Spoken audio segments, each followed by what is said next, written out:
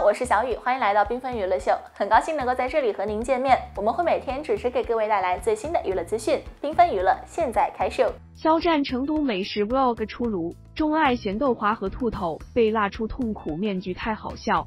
对于追星的小伙伴来说，最高兴的事情莫过于偶像更新动态。值得一提的是，肖战近段时间可不是一般的宠粉。工作室官博已经连续放出好几个日常 vlog 给粉丝过眼瘾，在这些 vlog 中能看到肖战在去往全国各地赶通告时，在工作间隙会品尝当地的特色小吃，在这个时候他整个人都很开心。每次录制这种关于品尝美食的 vlog 时，隔着屏幕都能感觉到肖战对着一桌子的美食有种迫不及待的心情。显然，在生活中，其实他也是一枚小吃货。而在接连体验了武汉的过早以及青岛的各种特色小吃后，从肖战工作室晒出的最新一段 vlog 能看到肖战去到了成都，并品尝了一系列当地美食。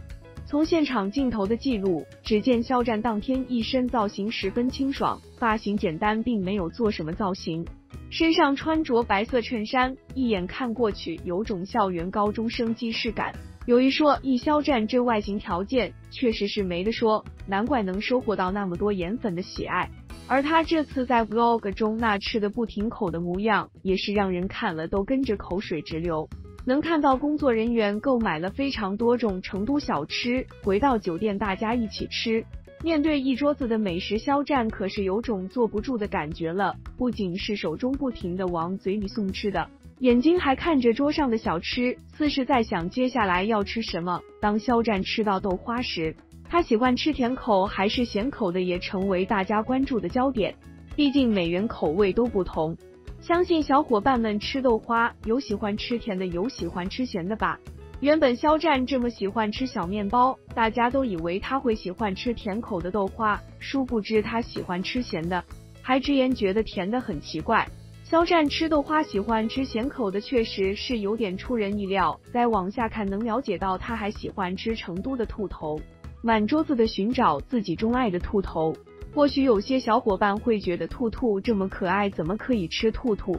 但去过成都旅行，吃过当地的特色小吃麻辣兔头时，都会纷纷真香，警告直呼兔兔真香。这次肖战看到工作人员没买到兔头，还有点遗憾。转而又马上冲着镜头向大家安利成都的兔头真的很好吃。看到肖战那表情，也让人有种想品尝一番的冲动。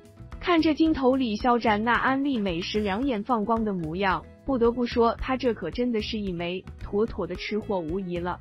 就这样，肖战不停的在品尝各种成都美食，突然他却被辣出了痛苦面具。当时肖战在吃一份麻辣小吃，连吃几口，连连对味道惊叹不已。但或许是突然间后劲上来了，肖战脸上瞬间出现被辣到的表情。不得不说，肖战这也真是有点后知后觉，被辣到立马放下手中的麻辣小吃，扭头不停哈气的表情，让人看了忍俊不禁。原本还以为重庆长大的肖战很能吃辣，如今看来太长时间不吃辣，确实是会有点不耐受。而肖战这被辣的直哈气，还有猛喝水吃冰粉解辣的模样，也是慌乱的可爱，与平日反差不小。最后一通环节总算是没那么辣了，但肖战在面对镜头时，脸上还是一副被辣出痛苦面具的表情。看到他这一系列反应，不难看出这份麻辣小吃确实是非常辣了，能把一个重庆人辣成这样。不过值得一提的是，肖战这被辣的直哈气又猛灌水的反应，也是很接地气、很真实了，一下拉近与粉丝的距离。总的来说，肖战对这次的成都美食还是非常满意的。肖战商务成绩辉煌，具备这二项特质的他，或注定成为人生赢家。有道是，娱乐圈从来不缺俊男美女，也不缺才华横溢之人。每一年都有层出不穷、各具特色的新人走入娱乐圈，但能火的屈指可数。有人说，小红靠财，大红靠命。能红确实充满玄机，有着说不清道不明之处，但再玄妙也躲不过人为因素。毕竟命运只负责洗牌，出牌的永远是我们自己。若说红，肖战可以说是当今娱乐圈中最红的明星之一。尤其是在流量、热度和商务方面，已是一骑绝尘的存在。看六百一十八的战绩，在个人护理、保健、按摩器材品类中被轻松累计销售额第一，且预售额破亿。咖啡麦片、冲饮品类中，欧扎克累计销售额第一，预售三千三百万。口腔电子等类中 w s m i l e 累计销售额达两亿，更刷新了品牌新带货排行榜指数，超越自己，再创历史新高，占比达百分之九十七点一。这长长的红线简直没谁了，不禁让人慨叹，怎么会如此厉害？肖战二零一九年因《陈情令》爆红，到如今也不过两年时间，还被打压了整整一年，怎么就红成了现在这般模样？细思一下，不外乎两点：人品、实力贯穿始终。数字事件之初，重力的商家选择明哲保身，这也无可厚非。但肖战的实力在《陈情令》《诛仙》我们的各等作品中进展，这无疑给了某些品牌信心。而合作过程中，肖战的人品。素养事件发生后，首先为商家着想的态度，也令品牌生出信赖之心。综合考虑后，坚定支持肖战。在最艰难的那段时间，有五个品牌力挺，这给肖战、给粉丝以多么大的鼓舞和信心，真是难以言表。都说墙倒众人推，在漫天的指责和谩骂声中，却没有一位肖战的朋友出来跟风。据说有人斥资收买他的朋友，希望他出来揭发，但没有结果。这只能说明肖战的一贯为人值得称道，备受尊重与喜爱。人在落难时最易见人心，也最显英雄本色。有人说肖战没有被打倒，是因为有不离不弃的粉丝，这当然是很重要的一方面，给予了肖战极大的外部支持。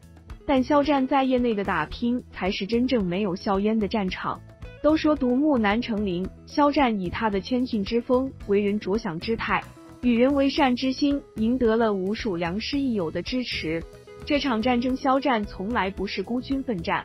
在网上有德高望重的前辈仗义直言，如邱心志、陈嘉玲等，从红梅赞到光点，从参加曹禺诞辰一百周年活动到玉县之行，再到重阳晚会的演唱，有很多业内的老师朋友在与他合作，帮助指导，一起打拼。比如合作了很多首曲目的刘卓老师，肖战从来都是一个优秀的、可爱的、敬业的合作者。他的踏实、努力、智慧、才华，赢得了业内的认可和支持，最终重新走上了舞台。六百一十八的战绩辉煌，很多优秀的品牌争相选择与肖战合作，这一切都是他实力的证明。一个好演员要靠作品打天下，而好作品必须要有好演技。从《陈情令》到《斗罗大陆》，再到《如梦之梦》，肖战的演绎实力突飞猛进，尤其是出演话剧，的确让人脱胎换骨。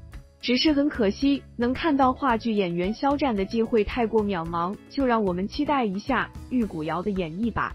小编想说，人有逆天之时，天无绝人之路。历经坎坷的肖战，人品与实力并举，赢了人心，赢了天下。借一句广告语，希望肖战未来如光如火，却能始终宛如初见。吃瓜不停，娱乐不断，感谢大家关注缤纷娱乐秀。如果您喜欢我们频道的话，请给出您宝贵的赞，并且记得订阅我们的同时，不要忘记了点亮订阅右边的小铃铛哦，这样就可以在第一时间收到我们的频道内容啦。我们下期节目再见了，拜拜。